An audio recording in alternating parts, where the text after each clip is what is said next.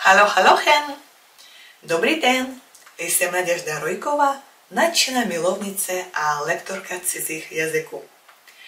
V minulém videu jsme probrali rod podstatných jmen v Němčině. To byla teorie a dneska uděláme trošičku praxe. Budu vám dávat slovíčka a vy zkusíte určit, k jakému rodu patří. K mužskému, střednímu nebo ženskému. Jste připraveni? Tak do toho. Lass uns anfangen. První slovíčko je Gärtner. Gärtner. Zkuste určit, co to bude.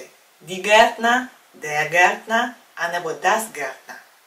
Koncovka R nám říká, že je to mužský rod.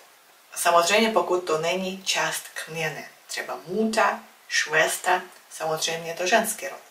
Ale Gärtner, koncovka R, proto určujeme, že to bude mužský rod. A uvedeme příklad. Er arbeitet als Gärtner.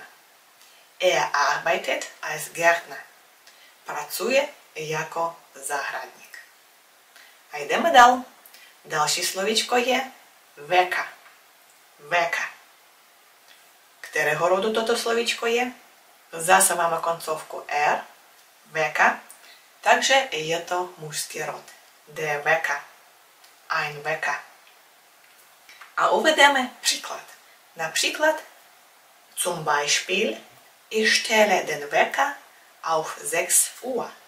Ich stelle den Wecker auf 6 Uhr. Nastavím budík na 6 hodin. Zupa, jde vám to dobře. Takže pokračujeme. Další slovíčko je Zeitung. Zeitung. Koncovka ung patří k ženskému rodu. Takže die Zeitung. Ich kaufe jeden Tag die Zeitung, so dass ich gut informiert bin. Kupuju si noviny každý den, takže jsem dobře informován. Nebo informovaná. Zupa. Další slovíčko je kino. Kino končí na O, takže je to střední rod. Das Kino. A uvedeme příklad. Ich will ins Kino gehen. Ich will ins Kino gehen. Chci jít do kina. A jdeme dál. Další příklad je Schönheit. Schönheit. Máme koncovku heit, takže je to ženský rod. Die Schönheit. Krása. Wie wichtig ist die Schönheit? Wie wichtig ist die Schönheit? Jak důležitá je krása? Ale třeba slovíčko ošklivost má jinou koncovku. Bude to Hässlichkeit, ošklivost.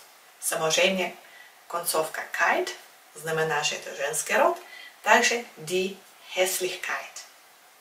Zupa. Jdeme dál. Další slovíčko je Freundschaft. Freundschaft. Máme koncovku schaft a to nám říká, že je to ženský rod. Takže die Freundschaft. Die Freundschaft. Freundschaft macht das Leben lebenswert. Freundschaft macht das Leben lebenswert. Takže přátelství dělá život stojícím za to žít. Něco na ten způsob. Dobře, jde vám to dobře, takže můžeme pokračovat. Další slovíčko je klase. Klase. Končí na E, takže je to nejspíš ženský rod. Die Klasse. Die Klasse. A uvedeme příklad. Sie kommt im Herbst in die erste Klasse. Na podzim půjde do první třídy. OK. A pokračujeme dál. Další slovíčko je lezerin. Lezerin má koncovku in a toto je koncovka ženského rodu. Takže die Leserin, čtenářka. Čtenář bude der Leser. Čtenářka die Leserin. A uvedeme příklad. Sie ist eine gute Leserin. Sie ist eine gute Leserin. Ona je dobrá čtenářka. Zupa. A jdeme dál. Tischlein. Máme koncovku line, takže tisch. Mužský rod. De Tisch. Ale Tischlein. Das Tischlein. Střední rod. Takže stoleček, malý stůl. Tischlein. Das Tischlein. A uvedeme příklad. Ich habe auch ein Tischlein hier. Ich habe auch ein Tischlein hier. Mám zde také stoleček. Dobře, pokračujeme dál. Další slovíčko je brötchen. Brötchen. Chlebíček nebo houska. Máme koncovku hen, zase je to koncovka z drobníriny. A jak jsme uvedli v předchozím videu, jak je to známo, že všechny zdrobněriny v Němčině patří ke střednímu rodu. Takže brötchen, brötchen je to střední rod, chlebíček nebo houska. A uvedeme příklad. Es gibt noch ein Brötchen. Es gibt noch ein Brötchen. Tady je ještě jeden chlebíček nebo houska. Zupa. Pokračujeme. Lesen, sprechen. Lesen, sprechen. Pozor, v tomto případě to nejsou slovesa, a jsou to podstatné jména. Pamatujeme si pravidla, že když slovíčko vypadá jako sloveso, ale je to podstatné jméno, takže automaticky je to střední rod. Takže das Lesen čtení, das Sprechen mluvení. A uvedeme příklad. Das Sprechen und das Lesen sind wichtig, wenn du Fremdsprachen lernst. Das Lesen und das Sprechen sind wichtig, wenn du Fremdsprachen lernst. Mluvení a čtení jsou důležité, když studuješ cizí jazyky. Zupa. A další slovíčko je September. September. September je. September je září a víme, že měsíce jsou všechny mužského rodu. Takže der September. Der September.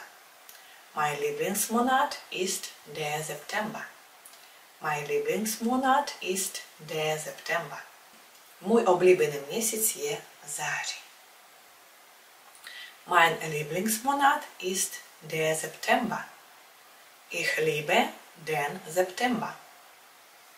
Můj oblíbený měsíc je září. Miluju září. Good. A jdeme dál. Další slovíčko je Montag. Montag. Montag je pondělí a taky už víme z předchozího videa nebo z nějakých knížek a učebnic, že všechny dny v týdnu jsou mužského rodu. Takže der Montag. Der Montag. A uvedeme příklad. Ich mag den Montag nicht. Ich mag den Montag nicht. Nemám rád pondělí. Další příklad je zoma. Zoma. Všechny roční období také patří k mužskému rodu. Takže der Sommer. Der Sommer. A uvedeme příklad. Meine Lieblingsjahreszeit ist Sommer, weil es heiß ist. Moje oblíbené roční období je léto protože v létě je horko nebo teplo. Takže řekli jsme, že roční období, měsíce a dny v týdnu, všechno patří k mužskému rodu, bez výjimek. Musíme si pamatovat, že například já, das Jahr, rok středního rodu. Das Jahr hat vier Jahreszeiten. Winter, Frühling, Sommer und Herbst. Das Jahr hat vier Jahreszeiten. Rok má čtyři roční období.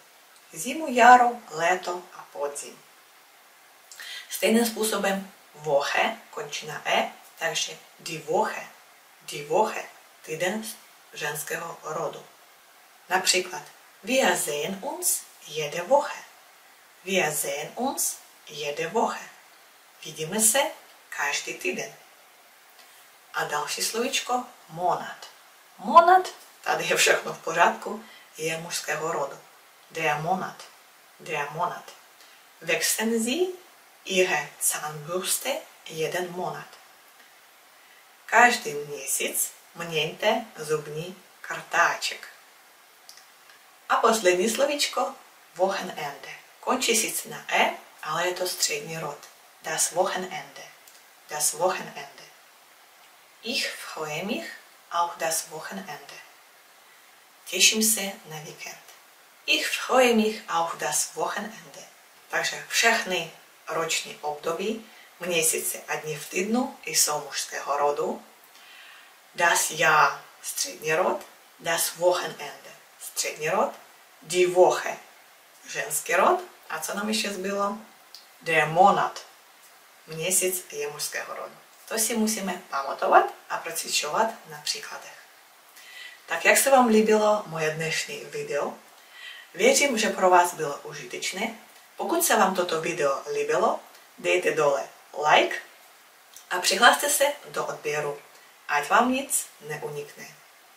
Bis bald! Brzy na viděnou!